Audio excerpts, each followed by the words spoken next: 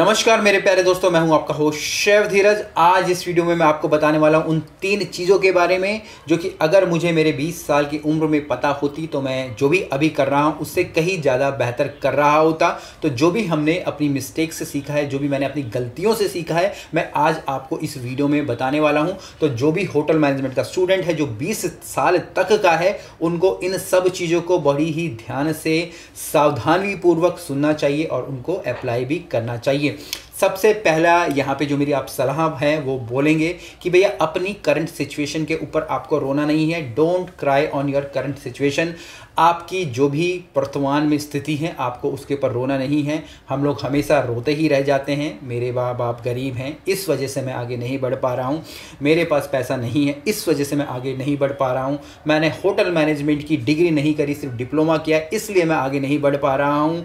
मेरे अच्छे दोस्त नहीं हैं, इसलिए मैं आगे नहीं बढ़ पा रहा हूँ। फाइव स्टार होटल में नौकरी नहीं मिल पा रही है, इसलिए मैं आगे नहीं बढ़ पा रहा हूँ, विदेश नहीं जा पा रहा हूँ और मैं इसलिए आगे नहीं बढ़ पा रहा हूँ। तो ये सब आप बोल सकते हैं, आपको रोना नहीं है। आपको अपनी करंट सिचुएशन को लेके मेहनत करनी है, क्योंकि जो भी आप करंट में करेंगे जिसके के लिए आप दोस्त किसी दूसरे को दे रहे थे, वहीं आप इस करंट सिचुएशन में यूज़ करेंगे अपने ऊपर तो उसके बाद जो भी दो तीन साल के बाद रिज़ल्ट आएँगे, वो उससे ज़्यादा बेहतर होंगे, जो भी आपकी करंट सिचुएशन थी या जो भी आपका पास था। तो यहाँ पे आपको ना अपने माँ बाप ना घर वालों पड़ोसियों, इसको, उसको उसके लिए दोषी ठहराना है कि जो भी आपकी करंट सिचुएशन है, आपको अपने ऊपर काम करना है। तो कभी भी आपको अपनी प्रेजेंट सिचुएशन के ऊपर करंट सिचुएशन के ऊपर रोना नहीं है। हम में से अधिकतर लोग यही गलती करते हैं। हम लोग अपनी करंट सिचुएशन के ऊपर रोते रहते हैं और दूसरों के ऊपर उसका आप बोल सकते हैं कि मरते रहते हैं कि भाई, इसकी वजह से मैं ये नहीं कर पा रहा हूँ, मैं ग्रो नहीं कर पा रहा हूँ, मैं पैसा कमा नहीं पा रहा हूँ, मैं आगे नहीं बढ़ पा रहा हूँ। तो ये सबसे बड़ी गलती हम लोग करते हैं और उसी चीज़ में हम लोग अपना समय बिताते जाते हैं। दूसरा यहाँ पे है कि हम लोग हमेशा पैसों के पीछे भागने की कोशिश करते हैं।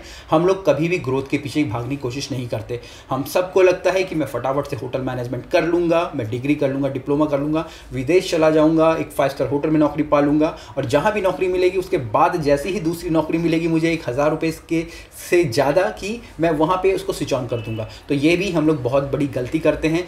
कभी भी हम लोग अपनी ग्रोथ के लिए नहीं भागते हैं। हम लोग हमेशा पैसे के लिए भागते हैं, जो कि सबसे गलत बात बात है, इस इनिशियल स्टेजेस में जबकि हमारी उम्र 18 साल है 20 साल है, उस समय में सबसे ज़्यादा हमको भागना है अपनी ग्रोथ के लिए, अपनी ग्रोथ के ऊपर हमें काम करना है, उसके लिए भागना है, ना कि पैसे के लिए। अगर आप अपनी ग्रोथ के ऊपर काम करेंगे, अपने ऊपर काम करेंगे, अपने ऊपर इन्वेस्ट करेंगे, अपना टाइम इन्वेस्ट करेंगे, अपने मेंटल हेल्थ के ऊपर काम करेंगे, ठीक है जी, अपने स्किल्स के ऊपर काम करेंगे तो जो भी आपने शुरुआती समय में कम पैसा भी लिया है, वो बाद में आपको इतना ज़्यादा मिलेगा, आप यकीन भी नहीं कर सकते। सकते वहीं ये भी होता है कि हम लोग सिर्फ़ सैलरी के पीछे भागने के चक्कर में अपनी स्किल्स पे कभी भी ध्यान नहीं देते हैं। अगर हम लोग अपनी स्किल्स पे ध्यान नहीं दे रहे हैं तो हम लोग हो सकता है कि शुरू के समय में कुछ पैसे ज़्यादा कमा लें, किसी दूसरे से थोड़ा आगे बढ़ जाएँ, पर लॉन्ग टर्म में कभी भी हम लोग सर्वाइव नहीं कर पाएँगे और सेम वही सिचुएशन आ जाएगी कि मैं अपनी करंट सिचुएशन पर ही रो रहा हूँ।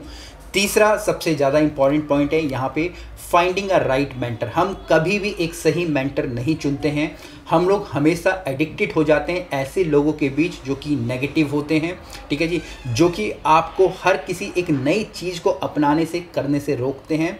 मैं एक छोटा सा एग्ज़ाम्पल लूँगा, ठीक है जी? हम सब हिंदी स्कूल से ही पास आउट थे। जब मैंने शिप में जाके अप्लाई करने की कोशिश करी तो एक मेरा फ्रेंड था, उसने साफ़ साफ़ बोल दिया कि, भाई, मत जा, वहाँ पे इंग्लिश में पूछा जाता है और इंग्लिश हमें आता नहीं हम फेल हो जाएँगे। तो आपको ऐसे ही लोग मिलेंगे या तो आपके वो दोस्त होंगे, आपसे सीनियर होंगे, पर ऐसे लोगों का साथ आपको नहीं करना है। आपको हमेशा ऐसे लोगों के बीच में रहना है, ऐसे पॉजिटिव लोगों के बीच में रहना है, जो कि आपको अच्छा करने के लिए सलाह दे रहे हैं। और यहाँ पे आप जिसको भी अपना मेंटर मानना चाहें, चाहे आप उसको वर्चुअली माने, या उसको चाहे आप पर्सनली मिल के माने बट आपको उनकी सलाह का ज़रूर पालन करना है। यहाँ पे आपको ये भी ध्यान रखना है कि जो भी वो कर रहे हैं, आपको उसको फिगर आउट भी करना है कि किस तरीके से उन्होंने वो सारी की सारी चीज़ें करी। कहीं आप ऐसे लोगों को तो मेंटर नहीं मान बैठे हैं जिन्होंने कि जिन्होंने कि खुद ही कुछ नहीं करा है और आपको लगता है कि आपको उनकी तरह ही बनना है।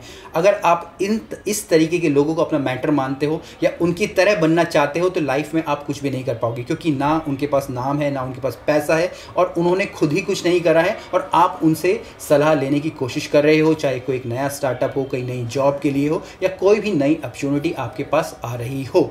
और यही तीन सलाह थी मेरे लिए आप लोगों के पास, जो कि आपको माननी है। मैं दोबारा से सबको समअप करने की कोशिश करूँगा। सबसे पहले मैं जो सबसे सबसे जो लास्ट वाली सलाह है कि एक राइट मेंटर को आपको चुनना है, मैं उसे ज़रूर बोलूँगा कि आपको एक राइट मेंटर को चुनिए।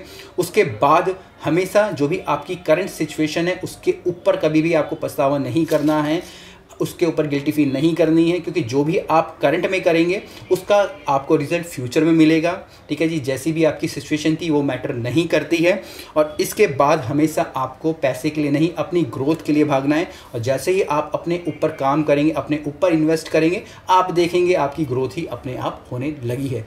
कुछ भी क्वेश्चन हो कमेंट्स नीचे लिखिएगा। फिर मिलेंगे एक नई वीडियो में। तब तक के लिए जय हिंद।